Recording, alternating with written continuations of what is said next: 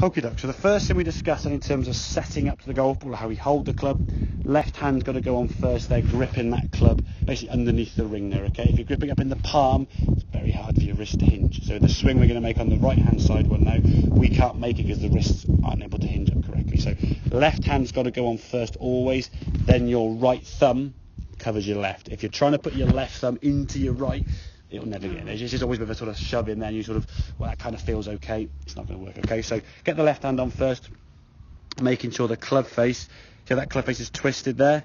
So the difference in those two club faces? Yeah. This one now is facing straight and we've actually got now the full angle of the club. This one now sort of turned down and going to be aiming a bit to the left there, okay? Yeah. So make sure that club sits on top. We said the writing on the shaft there, you can't see the writing obviously here, but the writing on the shaft would be directly on top when the club is straight. If I turn the writing on here now, so that purple writing, if I turn that to the left, you can see the club face down there is doing this twisting that you've got there on that left hand image, okay? So club straight, left hand grip in the fingers, right thumb covering, okay? Now your swing thought, okay, to try and hinder it. If you look at the left hand swing here now, when you went back, you were just swinging your arms and the club was going back so far, which is fine. This is the first thing we were trying to do.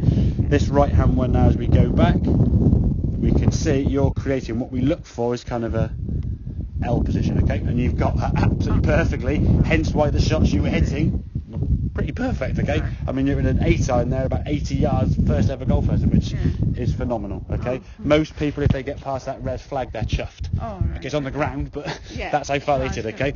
So, from that position there now, as you come back to the golf ball, lovely strike. The good thing, there's not much sort of variables in terms of your thing. You sort of rotate and rotate, hinging the wrist there, and that's the only swing thought. A nice hinge of the wrist. That strike position there is fantastic. There's so Is many. it? Honestly, I mean, and honest to God, really? you can show your partner and you can show these swings here, and he will look at that strike point. Okay, Yeah. Hands just leading in front of the club there, okay, really good. Posture's been maintained. You're shifting your weight now onto that left side. This leg is starting to sort of kick in a little bit, which is great. And when you swing through, there's a twist through. Your head doesn't stay down, which is a good thing. It rotates through and follows the golf ball. Often guys, when husbands or partners or whatever friends teach you to play golf, they keep your head down, keep your head down. Worst thing you can try and do, okay? Your head is naturally coming up, which is what it wants to do. People get told, keep your head down, and you end up trying to bend it and just hurt yourself, not careful. So all the things you're doing there, I've got to say, Anita, and I'm just saying this for the sake of the lesson, are brilliant, okay? Oh. Very, very pleasing and very surprising, okay? I'll be honest, okay? Oh, I. My expectations are kind of sort of in the middle somewhere. Some below that, you've exceeded that by miles, Oh, okay? And the fact you're swinging the golf club that far back, hitting an 8 iron 70 or 80 yards is just unreal. Oh, okay? So the focus, as we said, just to summarise there in terms of the lesson, left hand grip in the fingers, okay? Your left wrist is on top of the wedging ring there's going to sort of show you where the grip's going to be, okay? Your right thumb covers the left. Once you've got that then, okay, feet as wide as your shoulders as you had. The only swing was just to get those wrists to hinge that club. Once those wrists hinge up, everything happens. You haven't got to worry about trying to do any other thing. If you hit the ground behind the ball or hit the top of the ball, just step away from the ball and have a couple of practice swings and go back to doing what you know you can do. Some of the shots there, I say 70 80 yards and 8 iron, unbelievable. What I would suggest, if you hit a bad one, I'm getting bad shots, that's part and part. I mean, 12 handicap parties, it's some bad shots, okay? We just shots, okay?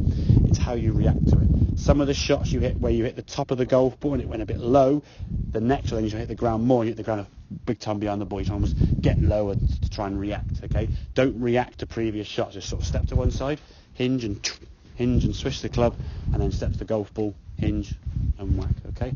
But I've got to say, very, very Oh, good. good. Any questions on what we've been through then in No, terms of the lesson? Yeah, all kind of makes yeah. sense there, yeah, yeah. Yeah, So, yeah. Couple of things to work on. It is just practice. The left-hand grip, is- the, in fairness, you've got pretty quickly. Okay, Mm. Yeah. it's something you sort of get there. You can hold that club. One thing I would say take a bit longer is the club wanting to sort of twist this way. Just make sure that club sits down nice and straight. Once you kind of learn and realise what the club looks like when it's going straight, it becomes sort of second nature I've got quite a big garden. I more, I would say, well, as long as 80 yards big, then you're okay. But yeah, I mean, if it's even from here to there, you can just do some small little sort of what we call the Y swing, just your arms back and through practice contact in the golf ball. Absolutely fine. Yeah, I'd recommend doing that by all means. Yeah. So, okie dokie then. Yeah, great.